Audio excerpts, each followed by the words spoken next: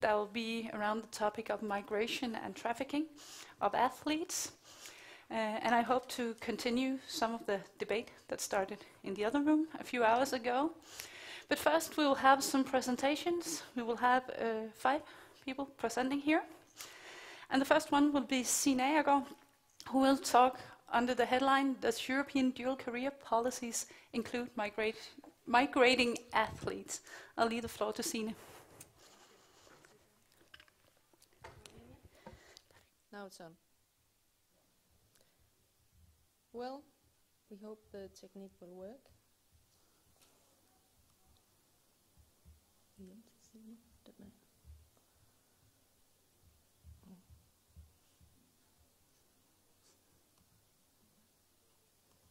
Perfect. Okay, so what I tried to do um, was is to um, make a um, presentation that's not that directed towards an academic audience, but uh, rather uh, towards policymakers. And I'm not sure that there are so many policymakers here, but anyway, you probably, we can discuss the issues here. So basically, uh, Jens told me to get to the point, and um, that's the reason why the title here is um, a, a, rather rhetoric uh, question. Does European dual career policy include migrating athletes? And the point in this presentation is that no, I don't think there's enough attention to international athletes in the dual career policy. And I think there's a lot of interesting discussions to be uh, related to this. But first, I'll just provide you with a bit of background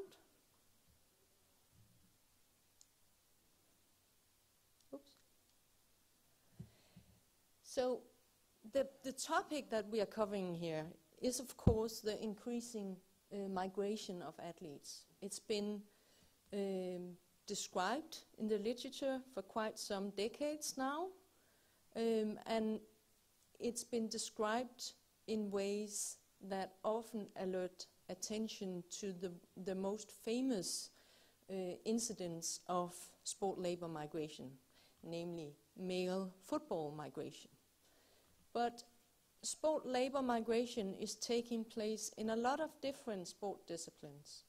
And it's taking place at different levels. We are not only talking about the very highest prestigious um, jobs in clubs like Barcelona and Arsenal, but we are also talking about second division jobs in uh, other countries. We're talking about female athletes as migrants. And these are some of the case studies that I would bring forward today. What we have uh, already um, studied, and we are not the only ones, is the way in which uh, mobility in sport is something that is really sought after. We also heard that in the panel this morning. It's something that is really sought after, and it's, it's uh, part of a future culture of migration, as Christian alerted attention to this morning. What we've also found is that often you have quite high expectations, expectations as young athlete towards your career trajectory. It's an upward career trajectory. And you have high expectations about the options of ensuring socioeconomic mobility, having financial gains, through your um, sporting career. But the reality, the ones who have studied sporting careers in lower divisions club like Martin Roderick have uh, described the sort of no numerous career insecurities. You can have injuries, you can have uh, change of management, you can have uh, contract uh, expiration, and a lot of other things. So the, the reality of living a life as a professional footballer abroad is much more um, varied than the dream often goes. And this is not just something that is related to um, athletes who come from other countries into a professional career. It's something that uh, we have been, uh, that there had been political attention towards.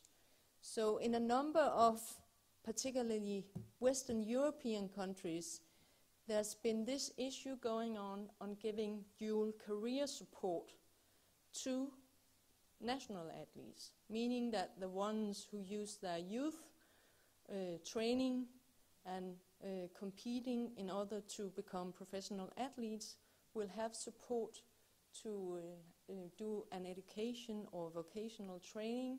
They will have advice on the way in which they can possibly develop a career after the athletic career. These countries and the things that happened in these countries is something that the European Union is uh, conscious about, and they're conscious about the broader problem in prof professional sport. So there have been dual career programs running. There are European Union guidelines on dual career, uh, careers of athletes, and there's been a call for study on how different nation states um, ensure dual career support to athletes. What is remarkable about these uh, documents is that they talk about the way in which European athletes can get into education in other European member states. And they talk about cross European education programs. But the case studies that I will show you is illustrate that the problem is much broader and there's a need also to uh, take attention to non-European athletes and the dual career issues for non-European athletes. So what I'm going to uh, present very shortly from you is uh, from our book on women's soccer and transnational migration. So the case is women's football migration. And as I already said, we know a lot of, when we hear about sport labor migration in the media, it's male football migration often.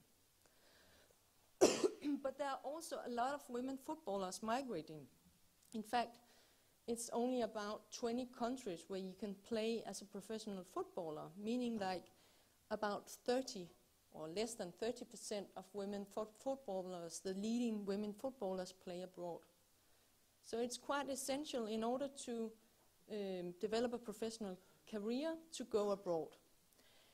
And the discipline is also interesting in relation to the discussion here because they sort of sharpening some of the issues, some of the dilemmas that might be in engaging yourself in professional sport because there's very little opportunity of having financial gains in women's uh, soccer and there, there, are also very little opportunity of relocating into sport-related jobs. So the specific case study that I'm taking out is built on studies that we've done um, following, now I just used a very general term, African women footballers and their migration into Scandinavian football clubs. And what happens is that a lot of these players would be coming um, to play, for instance, in provincial cities up in the very north of Sweden, where you can't get the Scandinavia players going because they would be closer to the bigger city and ensuring themselves an education. And by the way, being supported by the club and the national government in their dual career development. But some of these uh, African women footballers have come to play in Scandinavian clubs, and I've interviewed um, several of them, uh, and I've interviewed one player particularly um, uh, continuously or five times over the last um, seven years. And every time I've talked to her, there's of course a big variety in the extent to which footballers are preoccupied with education or not. But it, is, it has come across for me as a very uh, crucial issue for this migrant. She talks about her worries about not having education. And the first time I interviewed her, the issue was to have to do language courses and the difficulty of learning the Danish language. Then there was the issue of not being able to enter education. She needed to enter upper secondary school or gymnasiums. Uh, then was the issue of finding instead relevant vocational training. And later on, she tried, she found um, a course that she would like to do, but it was not possible for her. So that is something that has come across very strongly in the interviews with her. Um, she's not, as I said, she's of course not uh, the only case. There's a lot of uh, variety, and there's also some of the footballers saying that it may not be education that is essential. They alert attention to the specific African context where they come from, where there's a lot of unemployment of well-educating well-educated youth. So it is a complicated issue, but what comes across as something that is um, general for them is that a lot of these players postpone their career termination. They do try to invest in a career after sports in the terms of possibly investing in houses and things, what they call small business at home. Thanks, Niko. Um, but on the other hand, they are challenged by the fact that in the, at the moment, where they don't have more, uh, where they don't have a contract anymore, they will lose their residencies and work permits. permits. Some of the, them try to, to play for uh, as long as they can uh, have the chance of um, applying for citizenship, but I generally have the impression that several of them are in a what I would perhaps call a betwixt and between situation, uh, particularly when it comes to deciding uh, or finding out how to relocate into the country of residence at the, at the moment or uh, their country of origin or what kind of profession to pick up on or and how to ensure their future uh, career. They, so there's a number of issues that I thought could be relevant to raise for the European Union um, representatives. First of all, that in, in the present document, it doesn't talk about the access to upper secondary education. It presumes that athletes would be interested in higher education, and that's simply not possible for a large number of uh, players who come from out outside of Europe. Not all, but uh, some in these cases. Also, there's an issue of finding relevant education and relevant vocational training there's lacking international courses, there's lacking transnational career advice, and then there something that also comes out um, in these interviews, and I might be a bit mother-centric here, is that a lot of the girls or women are considering what to do in uh, terms of building relationships, partnerships, or having partners and planning there are family issues. As Niko mentioned this morning, age, age fixing is often going on. So they would poss possibly say that they are in their 30s, but in reality they would be at least in 30s when they're in their um, uh, career playing as professional players. So I do think that there's um, interesting perspectives here things that we need to study more about the conditions of non-European athletes and um, what could be the possible models that could accommodate that dual career support could also be given to non-European athletes.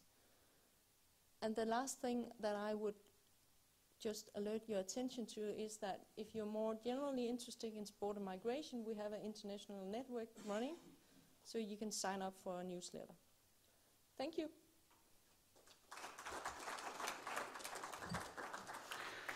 Thank you, Sine, for an interesting perspective on the European migration situation and how we react to the non-European athletes who, who work here.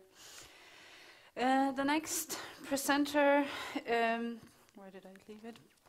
Um, where did I find it? Well, I can look up here.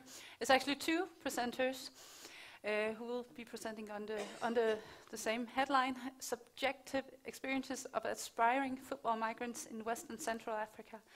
And I will leave the floor to Mark Hann first.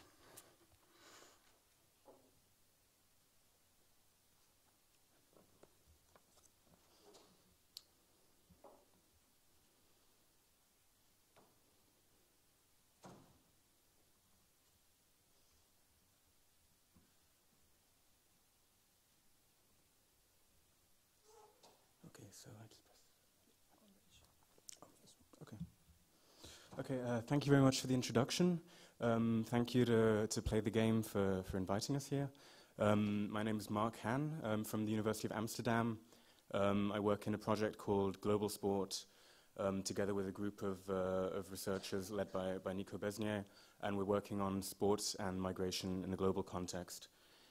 Um, it's uh, yeah, and I should mention it's uh, funded by um, by an ERC grant. Um, so the title, which uh, which we've given our presentation today, is uh, well, rethinking trafficking, subjective experiences of uh, prospective West African football migrants. Um, in recent years, uh, the trafficking of football players from Africa to the leagues in Europe, Asia, and the Middle East uh, has emerged as a major, a major topic and a major problem within the sport. Um, according to reports that saturate the media and which generate a lot of anxiety, um, young players are lured by unscrupulous agents and middlemen um, from their homes in Africa by false promises of um, trials with big European clubs, um, contracts, and so on. Um, families are tricked into investing their life savings or taking out loans um, or even selling their property in order to raise money, which goes straight into the pockets of these corrupt agents. Um, the players themselves are then often abandoned in Europe, in an unknown country. Um, they're left to fend for themselves, and they face a precarious existence with, uh, without employment, documentation, um, without networks to rely on. So this scenario, or some variant of this, uh, has become the dominant narrative in media reporting on trafficking in football. Um, and so, so while the exploitation of young African football players is, uh, is, uh, is a huge problem and a very serious problem, um, and may actually take place in exactly the way I just described it, um, we believe that the reality, and well, our, our research has shown that the reality is actually um, much more complex than this. Um, so in this uh, presentation, we're going to draw upon uh, long-term ethnographic fieldwork uh, among young athletes in, in, West Africa, in my case, uh, in order to complicate the picture of trafficking.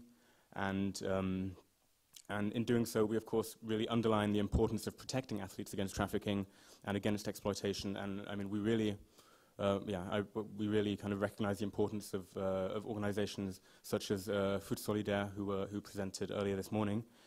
Um, but we will also demonstrate that what is described as trafficking is uh, embedded in a complex matrix of family relations, economic conditions, and cultural expectations.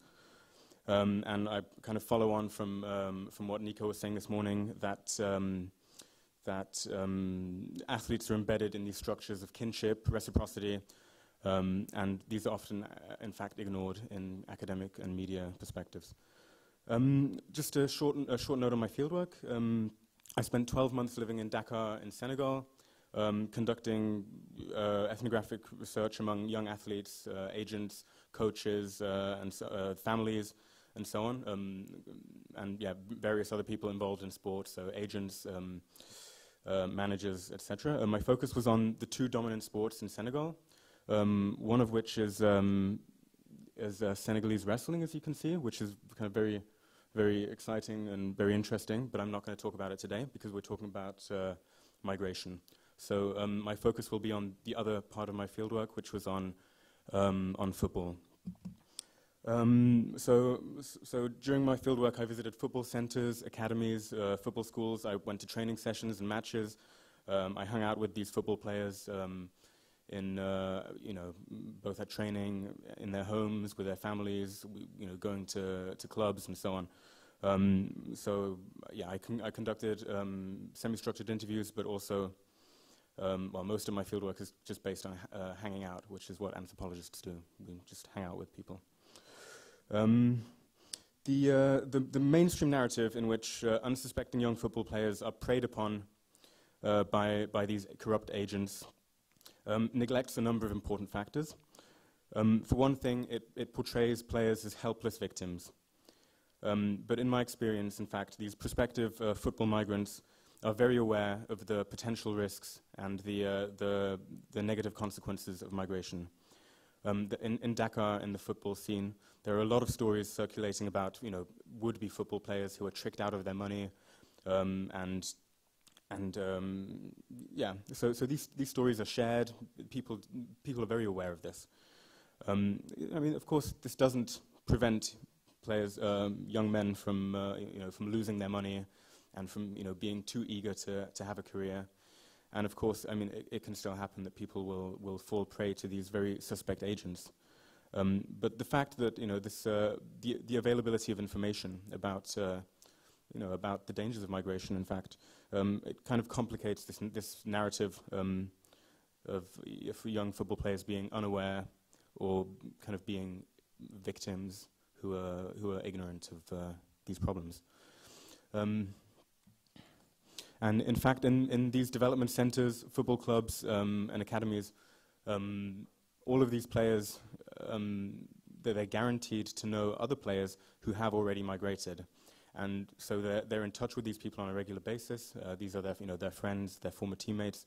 So they talk on Facebook, uh, WhatsApp, uh, Skype, and so on. So they're in constant contact with players who have migrated to Europe, uh, North America, Asia. And so they, you know, they have a pretty good idea of what's going on.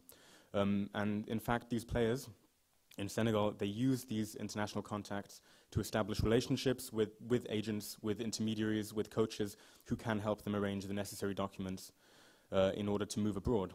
So players are very well informed about uh, the process of migration. Uh, in, in my fieldwork case, I have to stress. So this is in, um, uh, yeah, in urban Senegal, in Dakar. Um, and they are aware of the risks, yet they actively seek to migrate. So uh, the question which, um, which, which I'm asking is, you know, are they, uh, you know, are they willing participants in their own exploitation, uh, in their own trafficking, or should we kind of consider them to be entrepreneurs who take a calculated risk in an attempt to achieve success in football.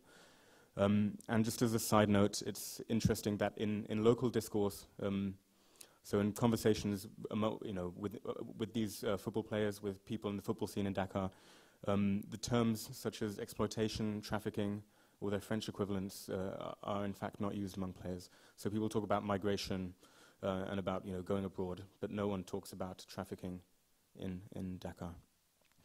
Um, in addition to this, uh, ideas about trafficking and exploitation generally seem to work on the assumption that African football structure is very disorganized. Um, it's uh, you know chaos where these uh, these kind of uh, uh, these unscrupulous agents can operate at will and they can swoop in and um, you know trick these players.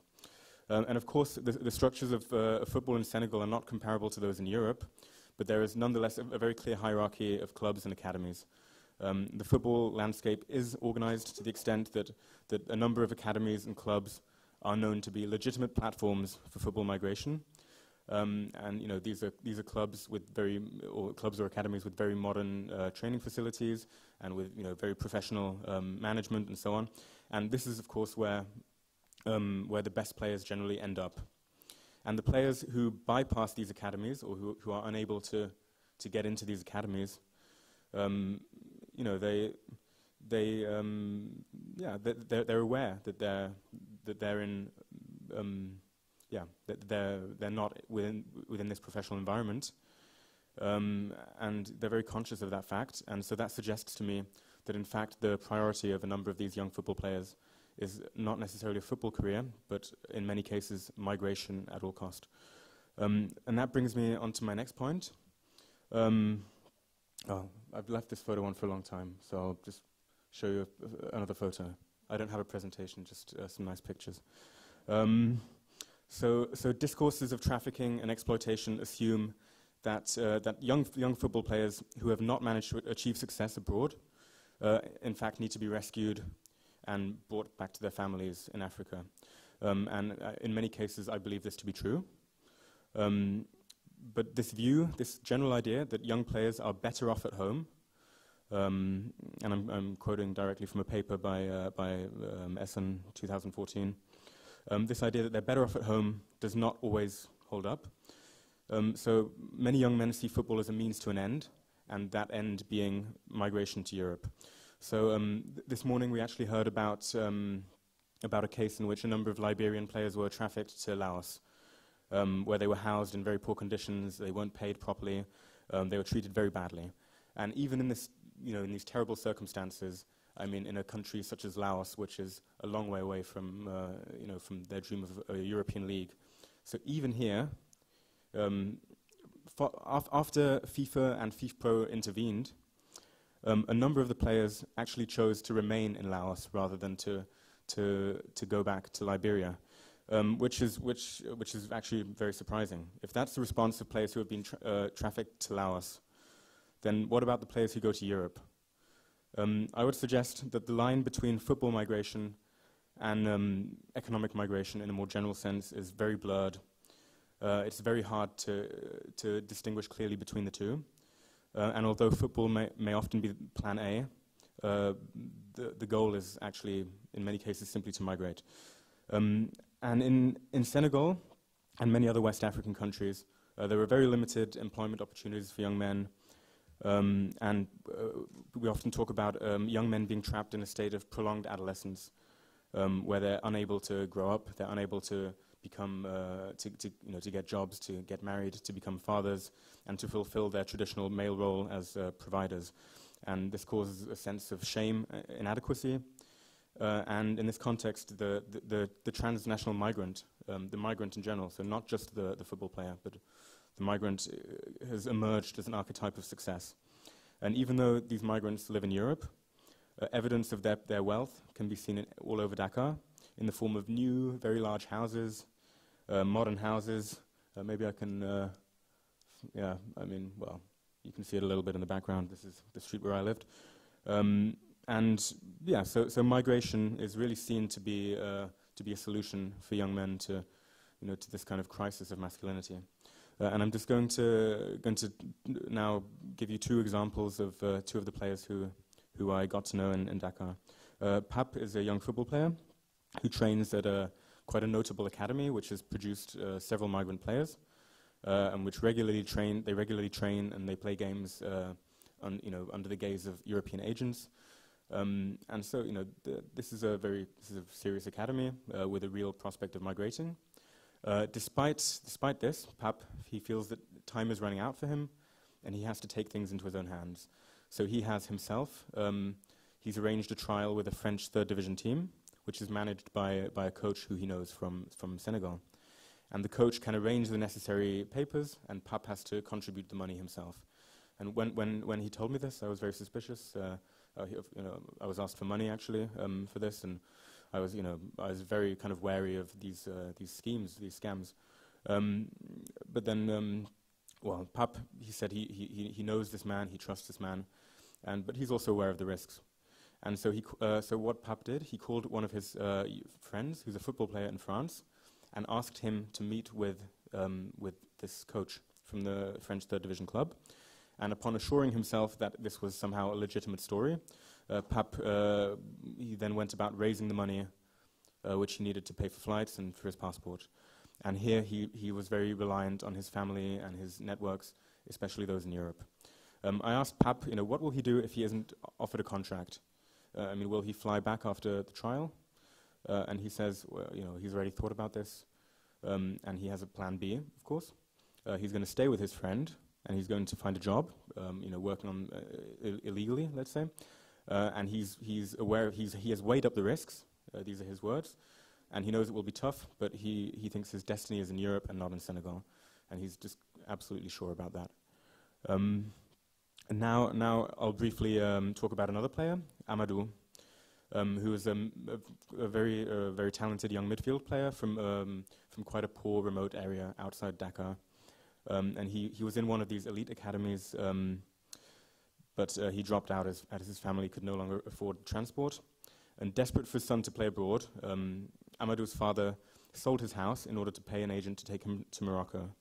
Um, there's, no, there's no contract on offer, it's just a vague, vague talk of a trial. Um, and this took place around 10 months ago. Today, Amadou is living in Casablanca. He's outstayed his visa, and he's still looking for a club. And I talk to him often. I mean, he's, he's in a very difficult situation, but he has no desire to return back home to Senegal. He wants to stay there. Um, okay, and in bo both of these cases, we, saw we see the important role of um, family networks in football migration. So Pap uh, solicited the help of his family and his uh, friendship links in order to raise the funds and to gain the information which he needed to travel to France. Um, and he's also counting on the help of his family and friends in France uh, once, he, once he gets there, whether or not he manages to, to have a professional career. Um, in Amadou's case, uh, we see that football migration is in fact a uh, collective process. So Amadou's father has identified Amadou as uh, the family's savior, who will eventually bring financial stability to the family. And in fact, Amadou he receives preferential treatment from his parents um, um, compared to his siblings. So he has his own room, he has a laptop, he has new football boots, and so of course he's under a lot of pressure, and failure is not an option. Um, just to briefly conclude, uh, because time's running out, um, the question which, which I want to pose is, you know, what exactly are we talking about when, when we talk about exploitation and trafficking? Um, in a context where becoming a successful man is so inextricably linked to migration, uh, it's very difficult to, to draw the line between exploitation and entrepreneurship, uh, and between trafficking and calculated risk. Um, and while it's very important to protect and to inform these vulnerable young men, um, I suggest that we have to place the exploitation of African football players within a broader um, family and social context. Uh, and now I'm going to hand over to my colleague uh, Uroš, who will um, tell us about some similar things in Cameroon. Thank you. Thank you very much. well placed. Another perspective on what trafficking really is to those who live there and those who choose uh, to go for a career, uh, perhaps in Europe. Uh, you'll be using this rest of the presentation, or is it another? Okay, perfect. then I'll leave the floor to, and I'm not sure if I pronounce it correct, Uroš Kovač? That's perfect. Oh, thank you. Good afternoon. Um, so uh, I will not spend too much time on introductions because, I mean, this is actually a joint presentation and uh, Mark has already done a, a, very good introduction and uh, I will try not to lose too much time on that. Um, uh, instead, I will try to show a few ethnographic examples. Um, first of all, pictures. Um, uh, so uh, I will be focusing on two, on two major topics in this presentation. Uh, one is the football players from Cameroon, aspiring young football players um, in the southwest of Cameroon. Uh, with whom I spent about 12, uh, 12 months uh, in my ethnographic fieldwork um, and about their families. Uh, so uh, about their um, uh, about their relatives, about their parents, uh, children, um, and basically about the expectations that their families and relatives have from them. Um, so let me introduce my fieldwork first. Um, uh, the fieldwork was in Cameroon among aspiring football players. Uh, they were generally in their early to mid 20s. Uh, they have all played football since uh, early childhood, uh, and that is quite common for Cameroonian boys. Um, as children, some of them might have gone through structured training programs in a football academy, uh, but practically all of them played casual football on the muddy fields around their schools. Uh, all of the players that I have worked with are actively training football in one of many official or semi-official football academies or clubs. Um, they're usually competing in a regional league. Uh, some of them have also experience maybe in the first division. Some of them even have some experience in the, in the youth national teams. Um, usually, most of the time, they're not compensated at all uh, for, for their playing in any of the clubs. Um, they're only maybe at times provided food and, and some basic shelter. Um, not, uh, not all of the footballers that I work with are uh, hail, hail from a poor background uh, or let me say not all, the, all of the aspiring football players in Cameroon come from a poor background, but the ones that I work with actually actually mostly do. Um, that would mean that uh, they would str- they struggle to pay rent. Uh, that would mean that um, uh, they uh, they uh, count uh, and collect their money uh, very carefully in order to pay, for example, tuition fees, school fees of their children, and often they have troubles collecting money from their relatives, and they're forced to collect money from their relatives in order to pay, for example, malaria drugs, drugs, yeah, against malaria. Um, the the among uh, among young men in general in Cameroon, uh, the football players are an extreme case of fixation on migration.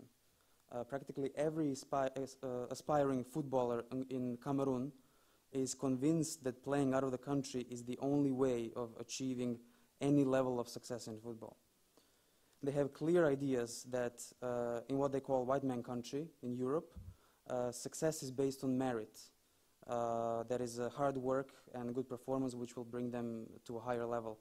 Um, they contrast this, uh, this view with the image that they see in their home country, where, according to them and in their view, having personal connections and financial support uh, used to bribe people in influential places, uh, such as club presidents and managers, uh, is the only way to achieve some success. So instead of that, Europe, um, in their eyes, uh, is a place full of opportunities for their talent and their hard work to be recognized and rewarded. Um, the trajectory of the young man uh, determined to make a football career is definitely pointed towards the global north, but it is by no means a clear and a simple path. Uh, a player moving directly from Cameroon to signing a contract in one of the highly revered clubs in Western Europe is very much an exception. Um,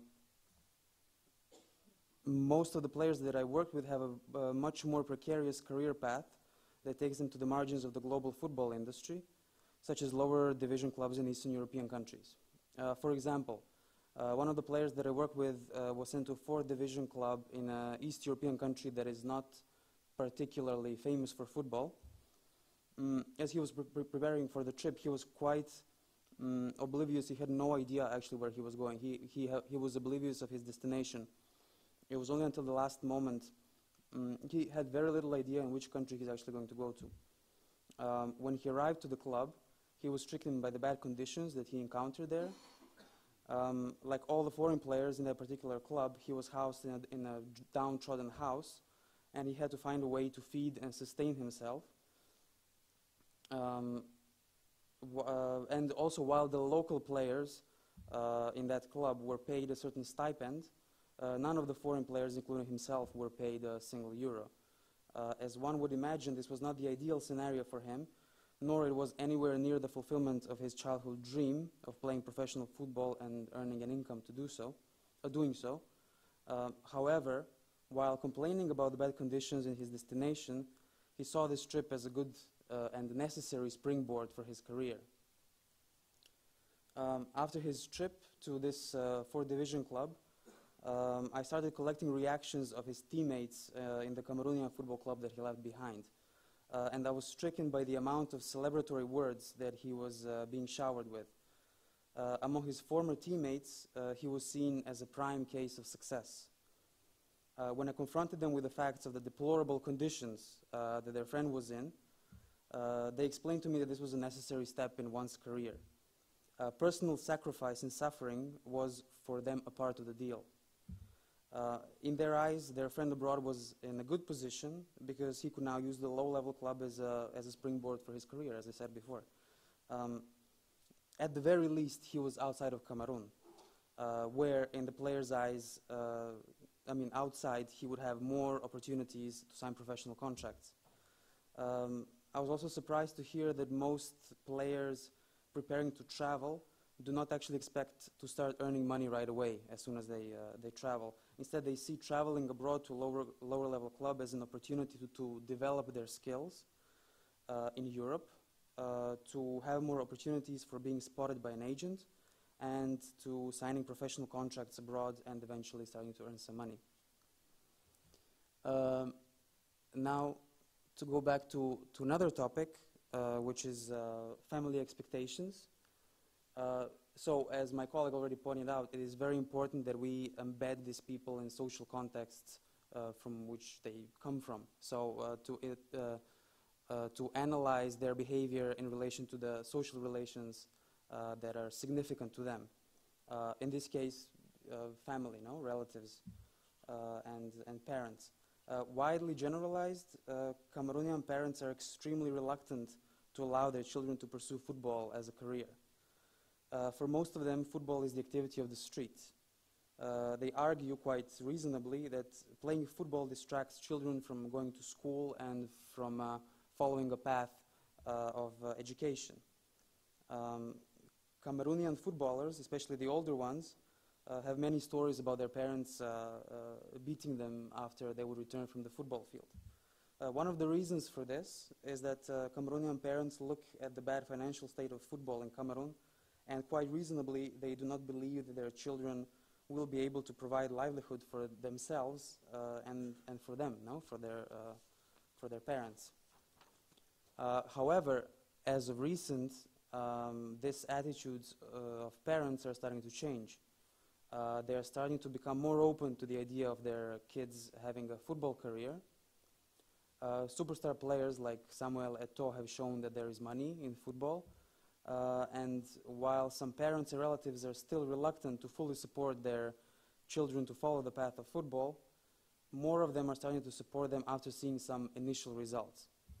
Um, if the child shows a particular level of dedication and talent, and if his coach and the club manager are reporting certain progress, many families will consider the child as a potential provider for the whole family and will invest serious amounts of money into the child's, or by maybe by this time young man's, uh, development in football. Uh, this time, however, all of their attention will be turned outwards to Europe and to the global north.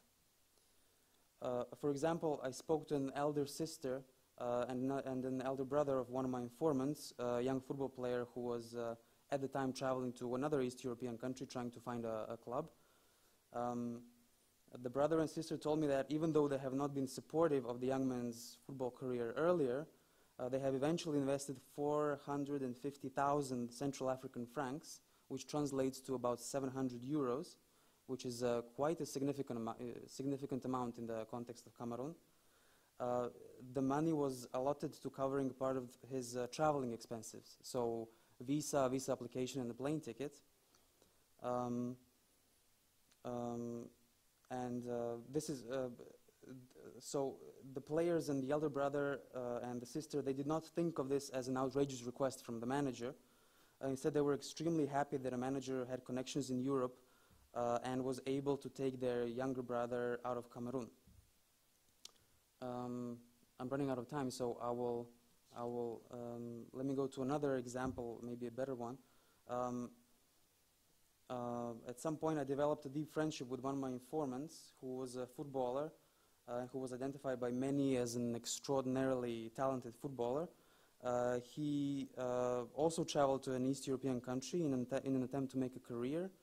Uh, however, this did not work, and he returned to Cameroon, where he has been residing with his parents for a bit more than a year. On several occasions, I was summoned by his father for a serious conversation. After explaining to me that he invested 1,000 euros in his son's plane ticket and visa application, he instructed me to speak with his son, my friend, in order to make him understand that he needs to do everything in his power to move out of the country. So the father was extremely disturbed by the fact that his son was so talented, but instead of playing international football and supporting his family through it, he's playing football locally. He complained to me that he is extremely unhappy and uncomfortable of having his talented son still living in the family house, instead of being on his way of building his own house. Even playing in the Cameroonian First Division was not acceptable for the father of the player. Uh, he was not convinced that this will be enough to support the, the growing family. And from his point of view, Europe was the only way out. Uh, just a quick conclusion.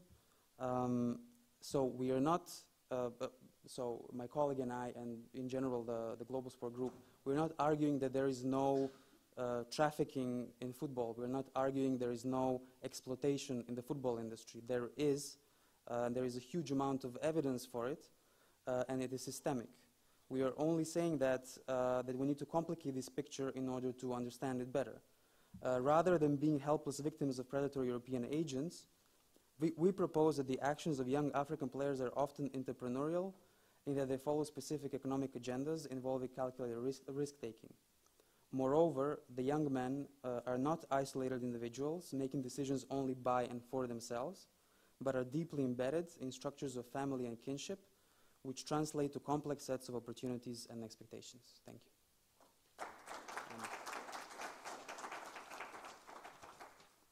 Thank you very much.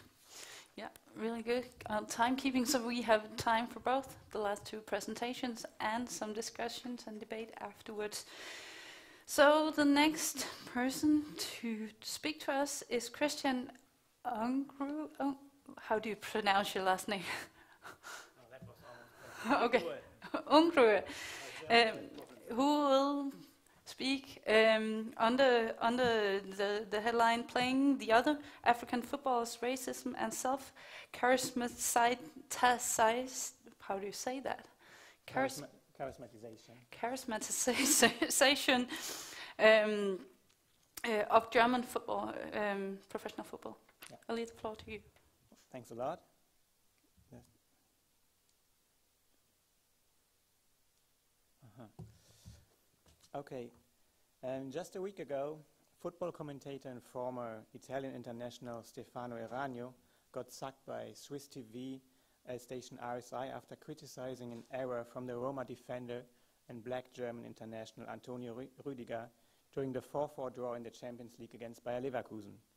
Following Rüdiger's failed attempt to play the offside trap, which caused Leverkusen's second goal, Eranio said, Black players in the defensive line often make these mistakes because they are not concentrated. They are powerful physically, but when it is time to think, they often make this time, type of error. Well, today, such a statement causes, causes massive critique in the media and leads to severe consequences for the commentator, whether in Switzerland, Germany, or else. This, is this has not always been the case. Um, in his homeland Germany, for example, Rüdiger would have faced such critique raised by Eranio time and again if he had been a player during the 1990s. Probably, he would have been the victim of open racist insults in stadiums like many other black players at this time. The good news is that open racism in uh, professional German football has declined over the last 10 to 15 years, uh, not least due to enhanced official measures against racist tendencies and the differentiation of the fan scene. Even more, African footballers in the Bundesliga are frequently celebrated by fans and are often icons of their clubs. However, and this is the bad news, this celebration and the general image of professional African footballers continue to socially construct them as being different from other, usually white players, and this difference grounds in alleged natural features that reproduce racial classifications. Thus, Eranio's statement is not such an exception as it might seem in the first place.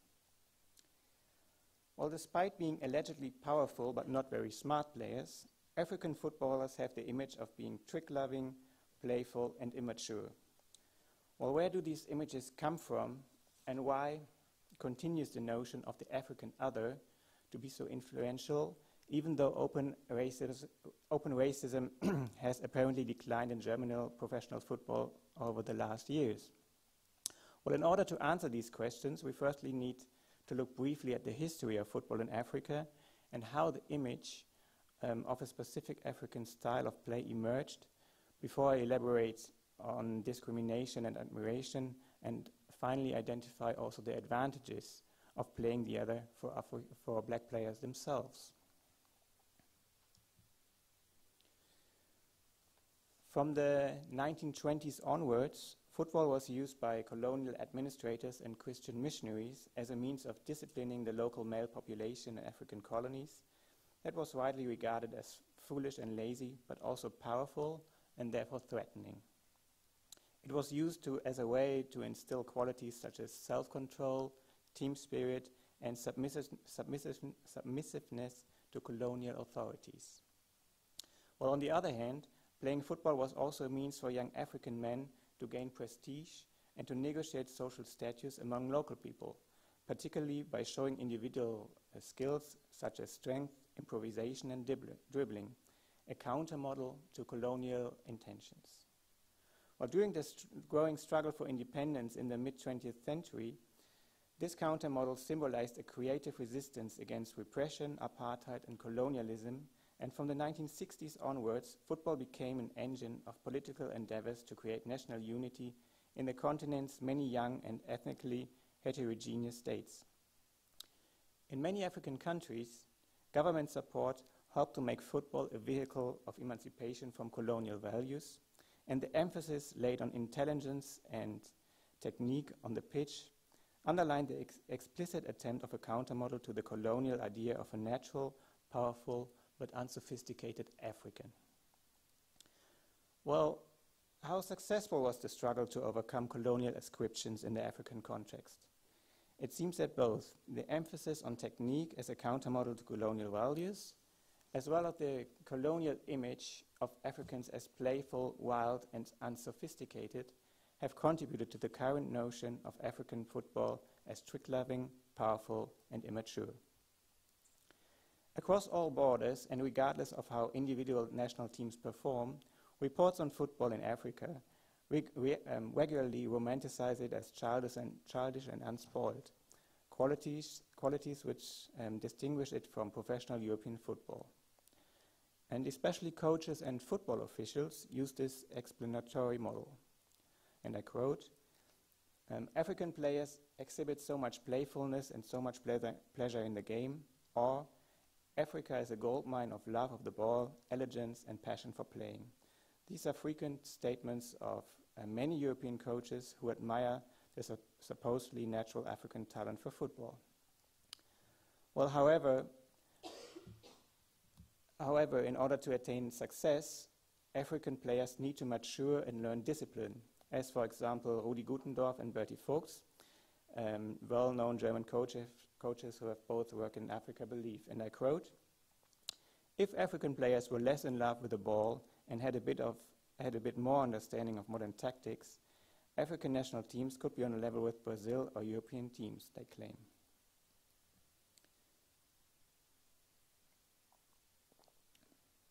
Well, it's by statements like these, the popular notion of the powerful, trick-loving but immature African sportsman has become a widespread image among coaches, fans, players, and the media. In Germany, ethnic ascriptions like this have widely become shared social knowledge. Well, what does it mean? This widespread image creates an expectation on the part of the observer that players will behave accordingly.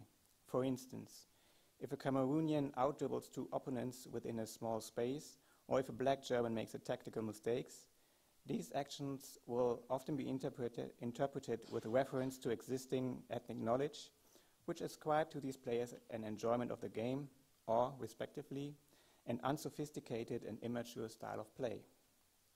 Thereby, certain actions of African footballers on the pitch are explained by referring to the stock of social knowledge of alleged, alleged African attributes. When these ethnic ascriptions then seem to be continuously verified, the social knowledge reproduces itself and adds to the power of such ascriptions. Well, however, these ethnic ascriptions gain also their, their power from another side, namely black players themselves. It is quite striking, for example, that African or black players in Germany also see elaborate ball skills and the lack of discipline and tactical understanding as the main difference between African and German football. When a former professional footballer from West Africa, looking back on his professional career in Germany between 2000 and 2010, says, and I quote, I've learned a lot here tactics, discipline, while in Africa, it is the fun of the game that is important. He is representative of a whole generation of African footballers in Germany. Gerald Asamoah, a former black German international born in Ghana, underlines this, and I quote again African players lack discipline, systematic order, and seriousness. I myself have learned this not before being in Germany.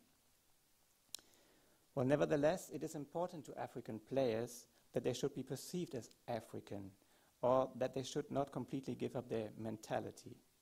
Thus, Andrew Sinkala, a former Zambian international who played in the Bundesliga for many years, actually between the late 90s and 2010, says, and I quote again, when you come to Germany, you lose a bit of your culture, but you will always play your football, and for instance, when you get the ball, you will dance with the ball a bit. The fans see and say, okay, he has to do that what he did in Africa, but this is not German football, and this is not the mentality of the Germans. So now one could argue that players from Africa and Europe just play different styles because of different attitudes towards the game. However, ethnic ascriptions go beyond that. In the world of football, black players, regardless of their place of origin or place of soci socialization, are generally believed to have a better technique but less tactical understanding than white players. Thus, supposed differences in ball skills or discipline between players of different skin color are explained, are explained by their genetic constitutions and not, for instance, by specific training.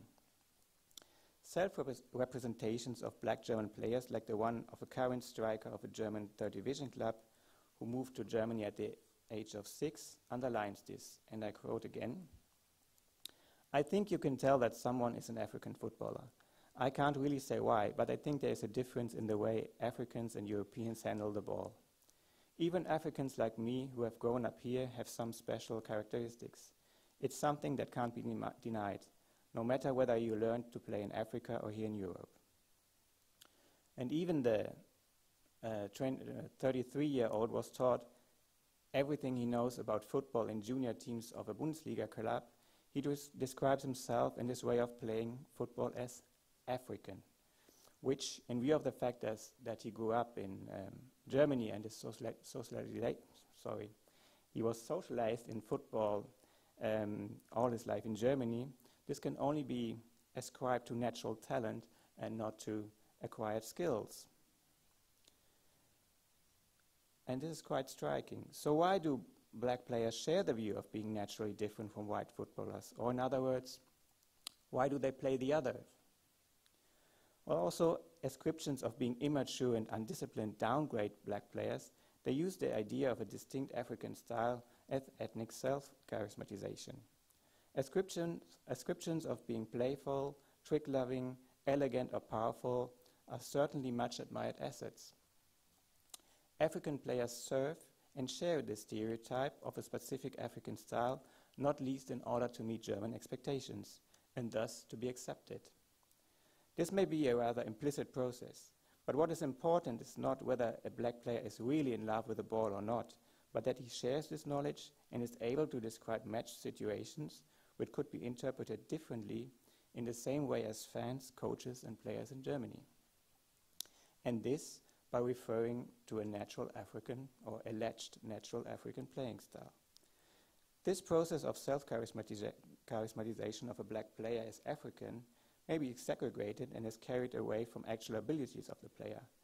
However, it often promises sporting success, success and contribute to a distingu disting distinguished position as a celebrated star and as an advertisement of a club. However, the notion of being playful, trick-loving, or powerful comes with other ascriptions of being naive, immature, and wild. It is this combination of images that reveal the dominant discourse of colonial ascription and post-colonial countermodels of what was and is perceived to be generally African. By implicitly referring to a colonial worldview, even ascriptions of successful black players, uh, sorry, by implicitly referring to a colonial worldview, even the appreciation of successful black players is often influenced by a general image of the continent that implies a natural backwardness.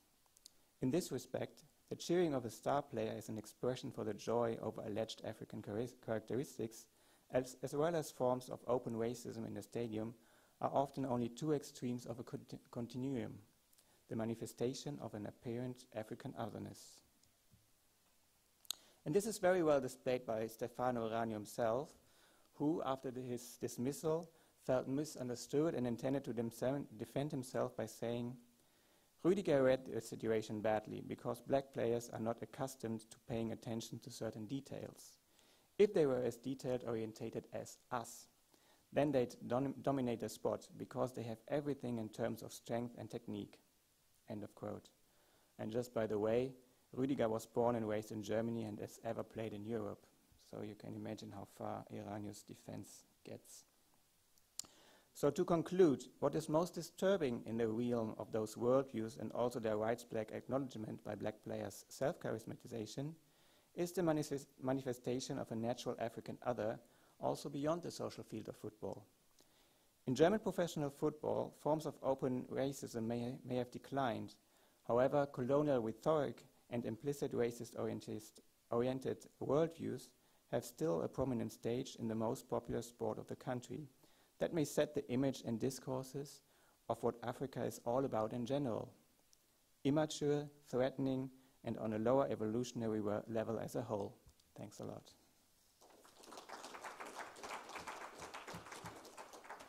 Thank you very much. And we'll move quickly to our last speaker in this session. I will welcome Martin Kainz, who will speak under the theme The Operating and Embedment of European Football Academies in West Africa using the example of Red Bull Ghana. The floor is yours. Thanks a lot. Thanks for introducing. Hello, everybody. First of all, I have to apologize, or want to apologize for uh, my level of English. I think it's the first, yeah, it is definitely the first time for me speaking in English. Normally, I'm used to German. So, yeah, um, let's see how this goes. In comparison to uh, the other speakers, uh, Sine, Christian, Uroš, and Mark, um, I'm not focusing on the player, but um, I'm focusing on an institution um, that enables migration. I'm focusing on Red Bull Ghana. And Red Bull Ghana is uh, led by, or the, no, uh, above Red Bull Ghana, there's a transnational uh, global company. This company, as well as Red Bull Ghana, is led by Europeans, and those Europeans are seeking to benefit from African talent. And on this topic, I wrote two master theses, um, also one book driven by the simple motivation to find out um, the actual aim of Red Bull Ghana. So I always ask myself in advance, why is Red Bull expanding to Ghana? Why do, are they establishing a football academy in Ghana? And I just wanted to find out um, if they are really as good as they pretend to be um, on the websites, on the, um, in the press, and so on. And first of all, I'm going to give you um, a short uh, overview of my presentation. So I'm going to talk about the background of Red Bull investing into football, about the aims of Red Bull Ghana, about my results um, that are based on a stay of about two months in, in Ghana, um, outside and inside of the academy, the conclusions, obviously, and the potentials and the status quo. So, um, Red Bull is uh, known as a global marketing company founded in 1984 um, with a head office in Salzburg. The main product is the can, and the main uh, marketing strategy is based on extreme sports, Formula One, and so on. And in 2005, um, they decided to invest into football. Um, First of all, they founded Red Bull Salzburg, then a team in New York, a team in Leipzig, and they also established two academies, one in Brazil and one in Ghana. So um, the overall objective is obviously getting active in the football business and increasing the global um, value, um, the picture, the uh, reputation of, of, of the brand. Now, let's make a short um, excursion to Ghana. Um, we are here in Accra, um, taking a car that um, needs four hours to go to the Volta River, um, east direction, direction of Togo. Um, just at the Volta River, there's Sogakope, a city of 7,000 inhabitants, And in Sogakope, there is one road that we have to take uh, to the Academy of Red Bull Ghana. Uh, it takes us 20 more minutes uh, where we are passing uh, Fivier, a town led by a chief, so functioning uh, in, in traditional law, not in state law, not in modern law, but with chiefs and stool fathers. Here is the pitch of Fivier. They are playing in the fourth uh, National League. And here is Bochi, also um, with a chief and about 15 inhabitants. And I'm, um, I'm telling this because Bochi and Fivier, those, uh, those villages where chiefs are the, the local authorities, they are usually the landowners, and the same is the case at the Red Bull Academy.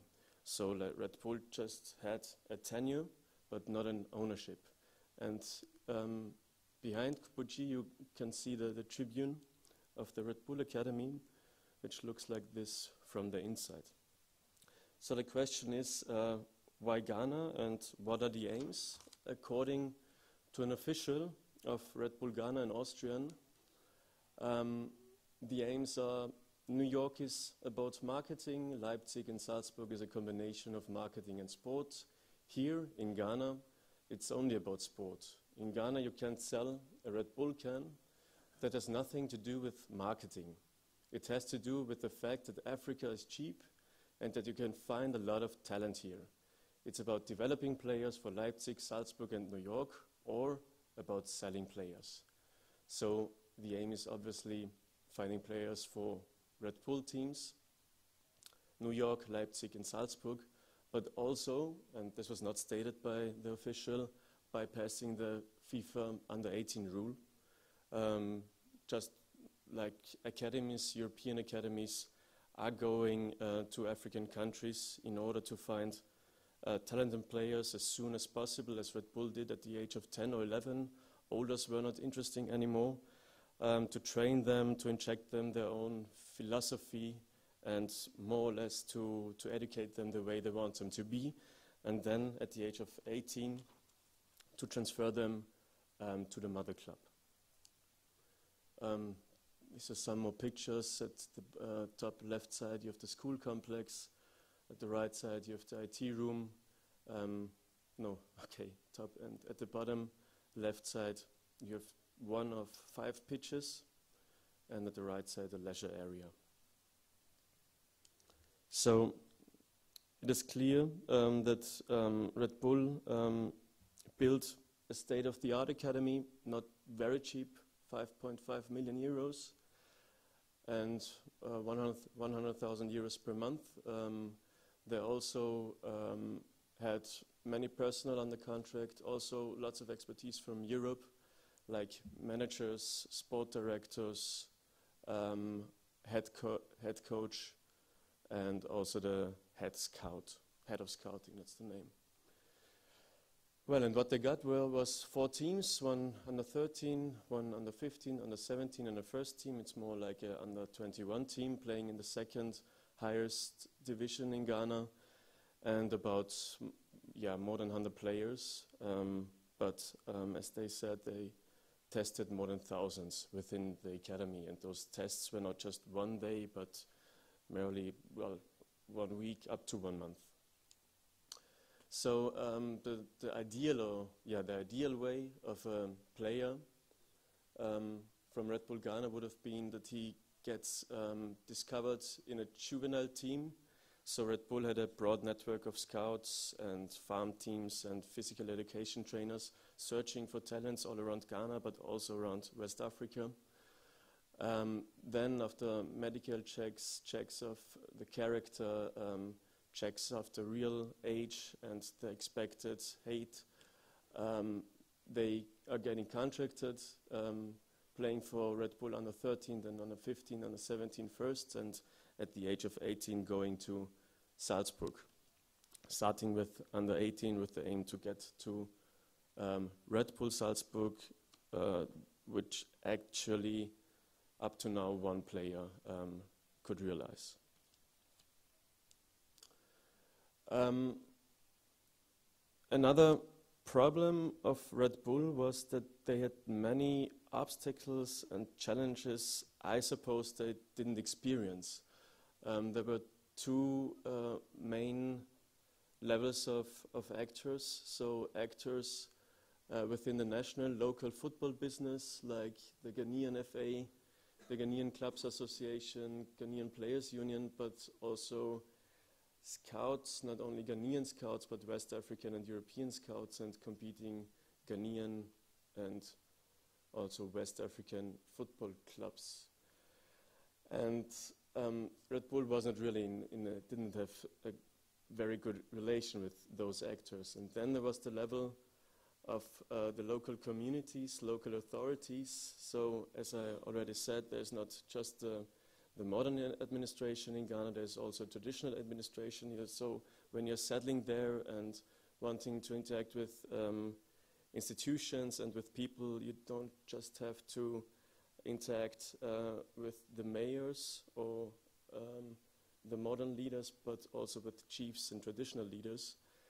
And then this is the third point. There is Red Bull, a transnational company with a completely difficult, uh, not difficult, but different uh, logic and with different aims. Um, um, they were not really embedded in the environment in Ghana, and they were not interested at all in embedding there and interacting with uh, the people. They were interested in, in getting good players. For example, they also had this stadium with uh, for 1,000 spectators, but it was never open um, to uh, local people when Red Bull Ghana played. And uh, to illustrate kind of slightly polemically the relations between Red Bull and, and the actors I just, just uh, mentioned, I want to show you these two pictures taken inside of the academy. At the left side, you have the place um, where the Europeans lived, and at the right side, you have the place where the Ghanaians lived. So, not talking about players, but also about Ghanaian trainers. Um, you had uh, white trainers on, living on the left side, you had black trainers living on the right side. And um, of course, one could argue in a company there's kind of hierarchy, and the management is living at another place than the workers, but the level of the trainers would have been the same. But still, there was this kind of quite obvious difference. So, to sum up, um, Red Bull just iso isolated from its surroundings to, to well, to reach their their um, their targets. And there have been some benefiting actors through the academy of Red Bull, like individuals, like families, like some players, workers, definitely, and technical personnel, but there have also been a huge uh, amount of conflicts, like uncertainties and lack of transparency in land acquisition. For example, um, the, the land wasn't bought, it was, it was borrowed, and Red Bull didn't pay, didn't have to pay for the land but it was expected um, that there are some kind of um, social responsibilities that Red Bull has and therefore has to give something back to the community, but in, in, the, in the contracts this was never, never defined. Another conflict has been, well, the isolation. I also mention, I already mentioned uh, not only the geographical isolation, but also the institutional and um, the ignorance of local actors. So uh, there could never have been, and there was no collective identification with the project. This was the project of Red Bull, but it was not uh, the academy or the team of the local people or of Ghanaians. Um, effects on the players. Um, one major pro problem for, for the locals has been that there were no local players. There was one statement of a Red Bull trainer who said that in the Volta region, where the uh, academy is actually settled, you can't find good players but good fishers. And well, they just searched in the in the northern region and outside of Ghana, and not in the locality, uh, which was not very common to the interests of the local mayor and the local authorities. Um, there was also a high fluctuation among the players. So if they found a good player in a regional or interregional tournament, uh, another they and they, they took that player or maybe 10 players at that time other 10 players had to leave the academy so uh, there was absolutely no um, um, security in contract no security of stay therefore no security concerning uh, education and no tertiary education at all so there were no options to football um, on the one side there was really a very high level of technical and tactical training, lots of commitment of the trainers, of the managers, also of the players. But on the other side, there was also a strong focus on, on, on discipline and on re-socialization. So um, it was the expelled aim of Red Bull, not officially, but in interviews, um, that the players are getting rid of their Ghanaian values and, and and getting to know European values, okay, quite similar as we already heard today, because without those European values, it's not possible to, to, um, yeah, to play European or to play football in European leagues. Well, um, after all, Red Bull uh, established a system that uh, was streng strengthening dream dreams of Europe among the players and the illusion of facility, but as already stated, not really um, showing options, realistic options for the players. And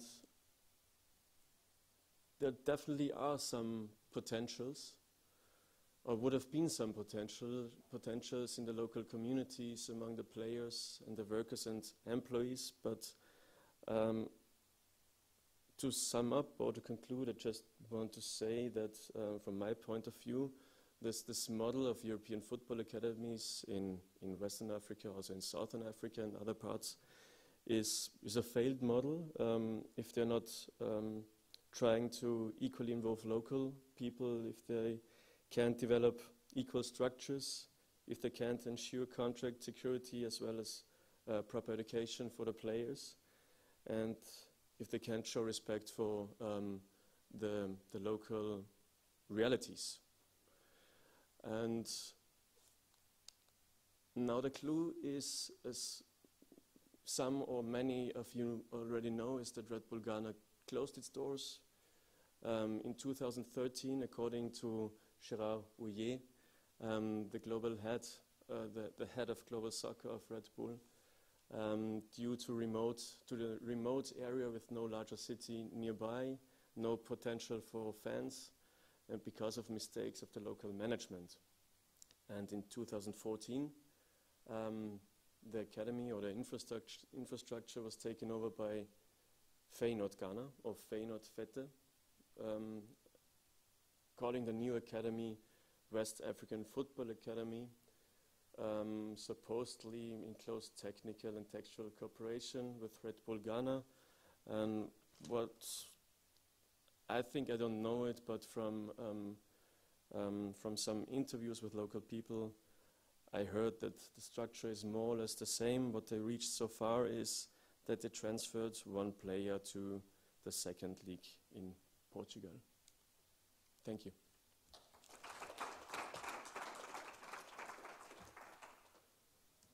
I would like to invite all of the speakers up here.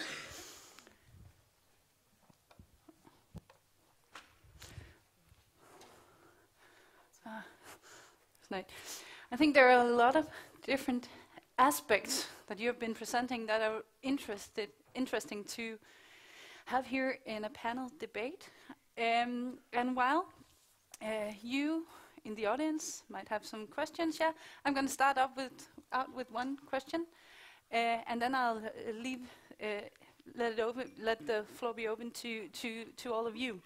Because I was wondering, we heard different things um, regarding securing these athletes, athletes operating in Europe from different parts of the world. We were talking about that it's they are not naive when they go to Europe to play football. Uh, they see an opportunity.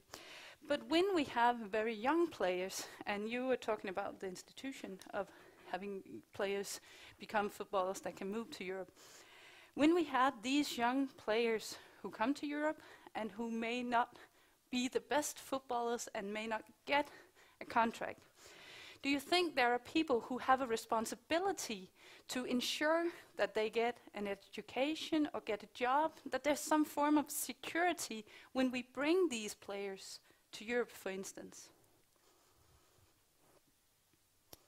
Anyone who wants to comment? Uh, well, definitely some sort of uh, net, social security net would be very beneficial for them. Um, uh, I mean, yeah, it's true. So many of them uh, fail in tests. Uh, so many of them uh, give up for one reason or the other.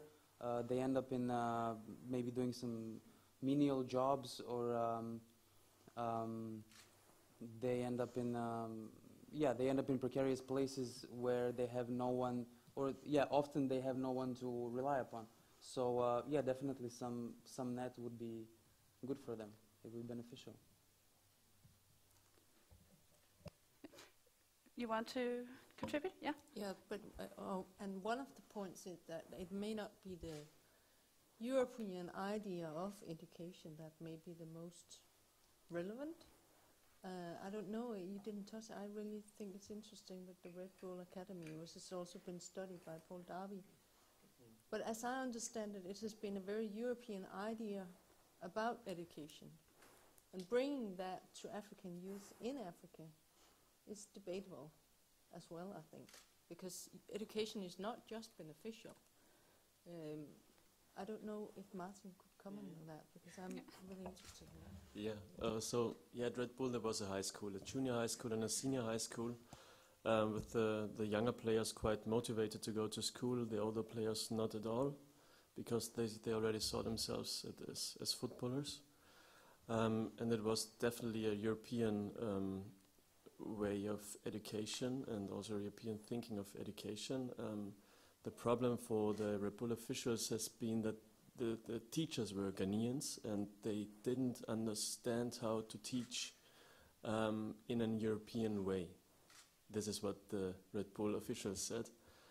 And therefore, when I was there, um, um, that was the time when there was some um, some new ideas, and the idea of the officials was um, that they have to search for European teachers and only then it can, can work out. And on the other side, the Ghanaian teachers who I interviewed as well had the problem that they, they were not allowed to, um, they said, punish um, um, the pupils because um, this kind of punishment is more or less uh, um, part of the traditional Ghanaian education system. And it didn't mean uh, physical punishment, but um, other sorts of punishment who he wasn't allowed to, to do because he didn't have the permission of, of the Red Bull officials.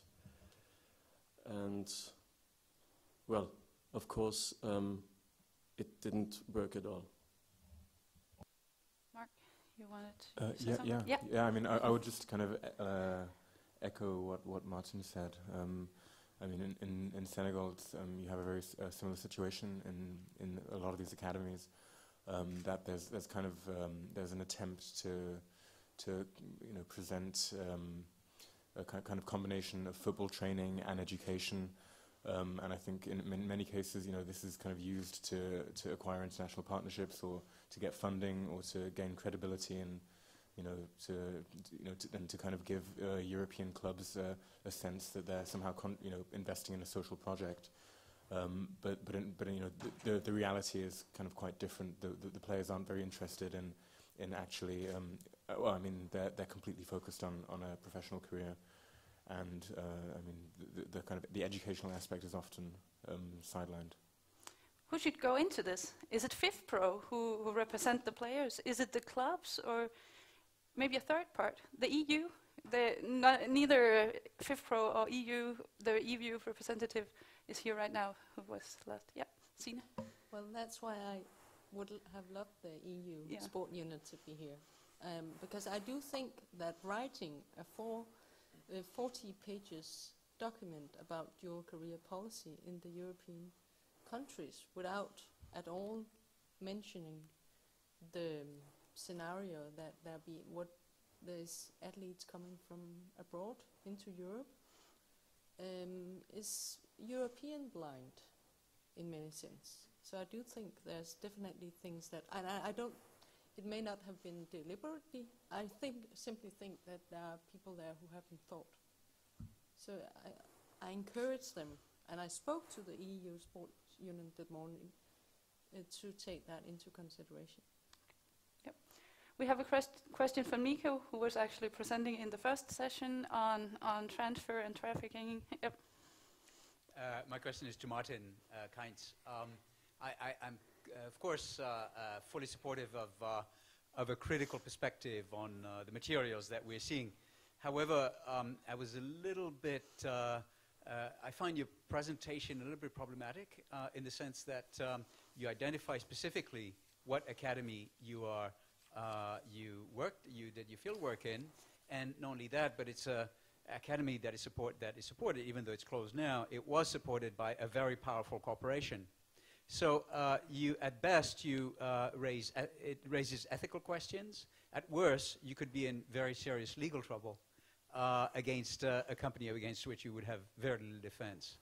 Um, the, I mean, the, the identifying like this a uh, a particular corporation, a particular, and, and the, the, the, the academy that it's uh, funding uh, would probably not go past any ethical uh, review from the European Union in research. Um, and uh, uh, I mean, the danger, um, I hope that, I think that you should really think very seriously when, before publishing this. Um, the danger, but even sort of presenting it is already, you know, putting yourself on, on the line um, uh, or uh, presenting it orderly. The danger that you also run is that uh, um, if uh, um, academies uh, get wind of, of the way in which you present things, okay, and uh, again, I'm completely supportive of being of, of the critical stance that you're taking, but if if, if um, academies get wind of the fact that you are actually identifying the academies, an, an academy in your work, then researchers behind you will never be, have access to these academies. They will tell, you know, the academies, understandably, will say, go to hell. Martin, you want to answer? Yeah, uh, thanks for that comment. And, and yeah, you are right. I also thought about the legal issues quite uh, intensively and for a long time. And I was for a long time thinking about even maybe not showing pictures of the academy, and also thinking about the way I'm presenting it. Um, I showed so um, my my data is already published with the, in a book and also in an article, and both things were sent to Red Bull from my site, and it was okay for them. So they just didn't respond. They didn't sue me. Um, they got the material and they knew that I was there for um, for researching for my master theses and already master theses are some kind of uh, publications. They are open to everybody. And therefore, well, I also showed the whole data and the things I've written um, to a lawyer, and so far I had no problems with that. And about other researchers, um, thank you for this comment. I have definitely to think about that. Are there any more questions? Yeah, Juliana. Yeah, she'll. You'll just get the microphone. Um, I I appreciated the. Could you please uh, state your name and where you, which, who you represent? Oh, yeah. sorry. My name's Juliana Barbassa. I'm a journalist and I uh, appreciated the, the presentation by uh, Mark and Uroš uh, of, uh, young players as agents, obviously not passive victims of, of what's being done to them, and, and their approach to this this complex decision to to migrate for football. But I, as as as active and intelligent people in their lives, I'm sure they also appreciate the fact that they're entering a, a, a hugely uneven um, playing field with a very uneven power dynamic, uh, a, a, system in which they're they're very vulnerable to, to exploitation. And in the earlier session, we, we talked about um, some options for addressing the, the transfer system. We the field in which they're about to enter. I, I wonder if in, in these conversations they have with their friends, um, if, if in their acquisition of knowledge about this world that they're about to enter to or seeking to enter into, if they themselves have ideas or, or hopes or thoughts about what would um, improve their uh, their conditions. If uh, we, you talked about um, a support network, um, do they talk about these risks and do they have ideas of what they would like to see happen um, to protect them as they, they engage in this? Uh, y- yeah. you can Um, both answer yeah. just one at a time. Yeah. Um, well, uh, uh, thank you for the question. I think it's um, um, like one one thing I found kind of in all these conversations is that um, um, these these football players are very aware that um, I mean that they're taking a risk. They're also very aware of the fact that uh, you know statistically that their chances of success are very small. So you so every football player you know has some kind of figure they can give you. Oh, you know, one in one in twenty-five, one in a hundred, one in a thousand. You know, they they all have some kind of uh, you know idea of uh, you know how how kind of small the the chances of making it are. But in, in fact, um, no no one who I spoke to um, um, kind of you know no one sees themselves as a person who needs protecting in any way because I mean for them you know they're they're kind of seizing their their chance they're they're working towards their future they don't see themselves uh, uh, at this stage they don't see themselves at all as you know vulnerable um, um, you know vulnerable people who need who need protection from from some you know they they see themselves as you know adventurers perhaps or as kind of young men who are who are you know working towards their future. No I mean and and of course I mean that that possibly has has to do with the fact that they they only see the system you know from from one end and they only hear about what happens in Europe from um, you know from you know through through a filter of course um, so I mean that that's de- um, it would definitely be be a very interesting question to ask those young players who have um, who have migrated to Europe and I think that's going to be a second phase of our research Yeah, uh, it's th- thanks for that question. Uh, it's definitely true that they don't uh, feel like uh, they need a sort of a protection, but they actually do have uh, protect. I mean, they use protection from their uh, personal contacts, from their families, from their families abroad and fra- families back home. So in that way, they create the, their own social networks. But um, uh, in terms of uh, how uh, this um, uh, unequal, how how this this balanced position can be changed, generally they speak about development of football in Africa. So they speak about that th- uh, there should be more money invested in uh, football fields, uh, in uh, development of players, in, in new equipment. So um, they see, so basically they see on TV, on, on television, through media, through internet, Facebook, and so on, they see very good conditions abroad uh, they see that uh, in, in their eyes the, the kids in Europe have much better chances of making a career uh, in football and in other things as well. Uh, so they are aware that they're in a position uh, that is not beneficial to them. Uh, yeah, I mean, the, one of the solutions that they, that they say is just uh, more, uh, more investment. More money should be invested in stadiums, in equipment, in coaches.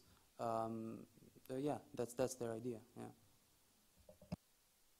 Well, I also wanted to follow on complimenting Uroš and Mark for some very interesting and embedded description, thick descriptions.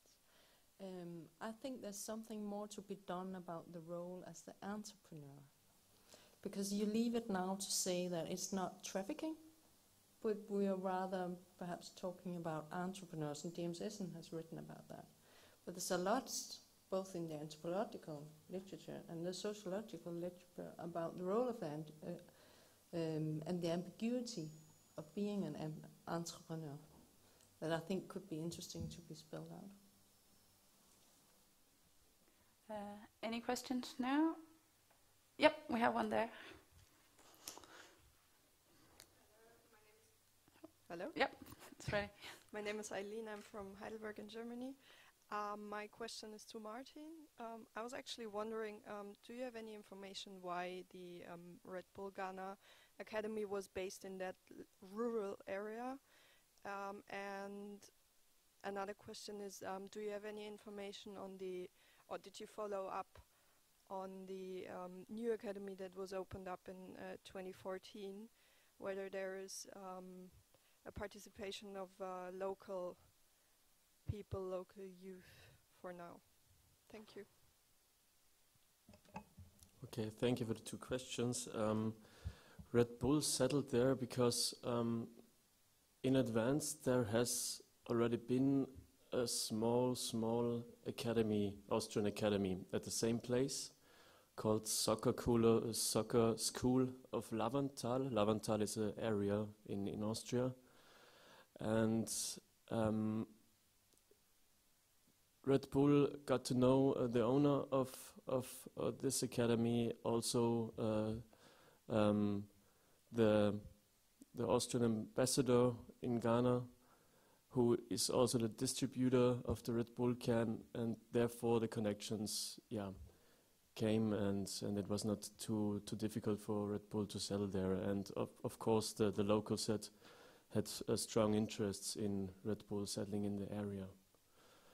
And the other question, the, from the new academy, the WAFA, um, West African Football Academy, I don't, I just know from, from two people from the locality. Um, the one is, is uh, quite near to the chief from Fiviers. He said that they tried, tried several times to speak to them, but, but couldn't. But this is more or less the only thing I know. And therefore, I can't say if there's more interaction right now. Um, but it is the same structure as, as, as Feyenoord Fetteh. So um, in 1999, Feyenoord Rotterdam expanded to Ghana and, and built Feyenoord Fetteh. And it was sold to private investors in 2010, but still having the same um, general manager. And so this personnel went from Fetteh to Sogakope, where the new academy is right now, and took the players from Fetteh to Sogakope and the sports director, for example, is Sam Ajay. He's quite a popular um, Ghanaian uh, football trainer. And therefore, I think at least um, in the experts uh, and in the, in the, management area, there is more or less um, like Europeans as well as, as Ghanaians. But I'm not too good informed. I think I would raise a question here. Um, when as uh, it's actually touching upon something Niko brought up about the social uh, relations, like having a family, even if it's biologi biological or not.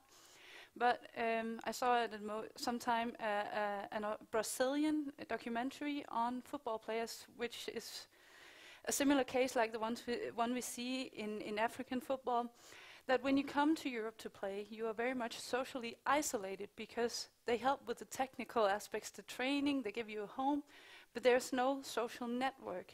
You touched upon it uh, in, in, in regard to, to rugby.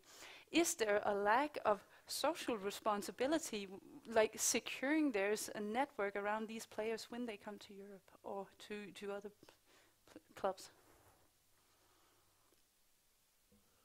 I mean, I, I can kind of answer for the for the case of Senegalese players, um, and I mean it depends very much on where they end up.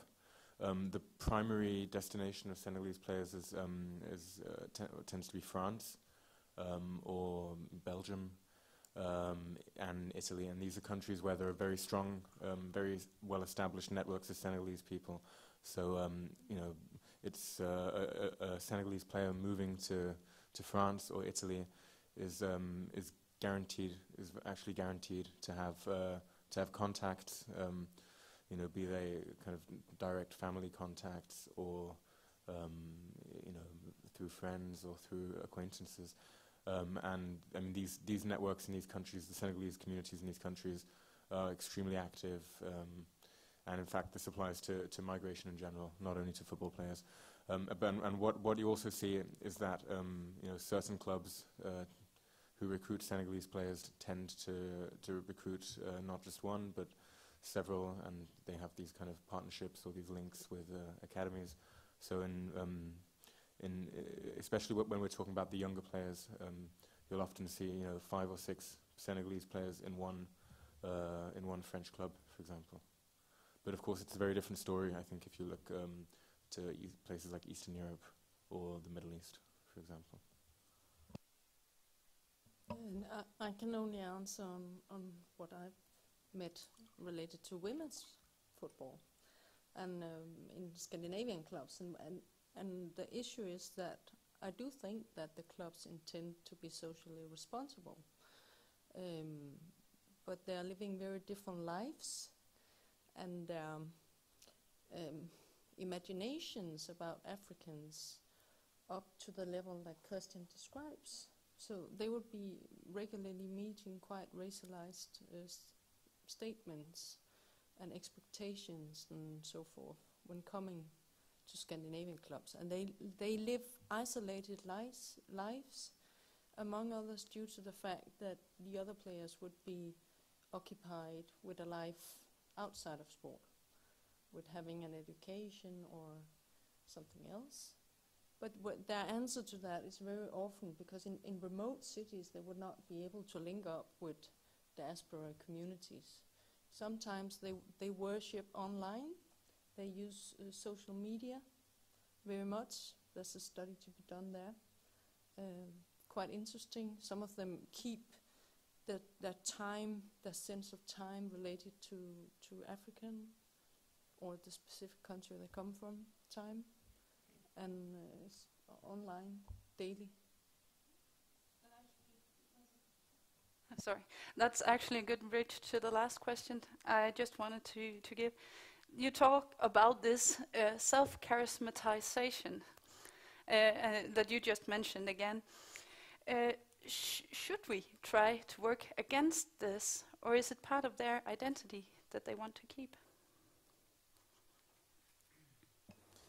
Yeah, I think it it will be very hard actually to, to work against that because it's shared from many sides. It's coaches, it's fans, it's the football industry, it's the media, and it's players themselves. So who would be the actor to, to work against that? Maybe academics, I don't know. But, but uh, as anthropologists, we actually we don't involve in that. No, but actually, uh, it's. I thought about that. That if I would have a policy recommendation, what to do, actually, I don't have because everybody seems to be happy. But my task is to raise the, the issue and raise the and show that there is a problem. And if that continues, actually, we will never overcome our worldview about Africa, and that's, that's actually a big problem, and uh, I don't have a solution to that. Sorry. Okay, I think we'll finish up with that and give the panel a round of applause. Thank you for listening and for coming to this session. I think we got a lot of interesting issues on the table here. Thank you.